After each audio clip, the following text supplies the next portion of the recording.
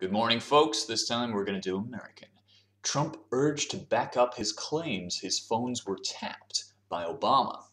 Now you notice here that in the these R words, such as urged, we're saying the R's and we're making them quite big. Were tapped by Obama. Let's keep going. US President Donald Trump has been urged to provide evidence to back his allegation that his predecessor, not, not predecessor, Barack Obama ordered, that changes that word a lot, doesn't it? Ordered his phones to be tapped during the election campaign. You notice that this is during, not during. Republican Senator Ben Sasse, is that Ben Sassy? I hope it is.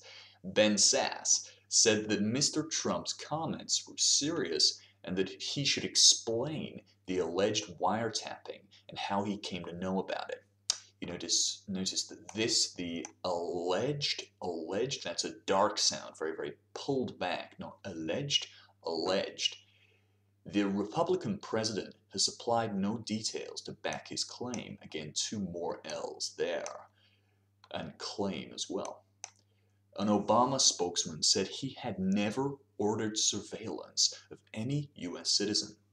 Mr. Trump's tweets follow allegations made by conservative radio host Mark Levin, including that the Trump the, that the Obama administration sought and eventually obtained authoriz authorization to eavesdrop on the Trump campaign last year.